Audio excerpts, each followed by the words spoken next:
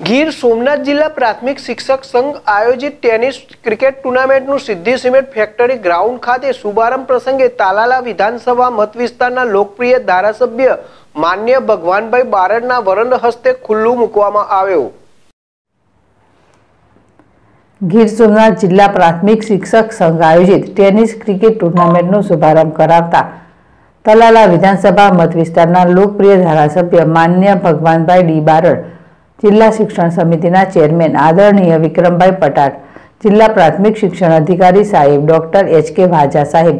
ગુજરાત રાજ્ય પ્રાથમિક શિક્ષક સંઘના પૂર્વ કોષાધ્યક્ષ રામસિંહભાઈ પાંપણિયા સિદ્ધિ સિમેન્ટ ફેક્ટરીના ડાયરેક્ટર દિનેશભાઈ રાંદેર,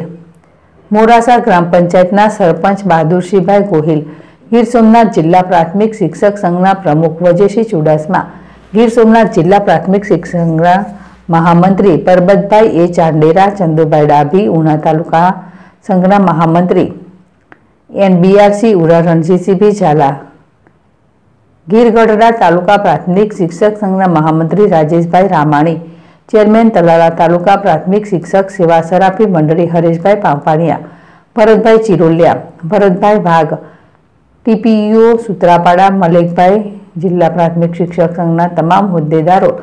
તમામ તાલુકા પ્રાથમિક શિક્ષક સંઘના હોદ્દેદારો હાજર રહ્યા.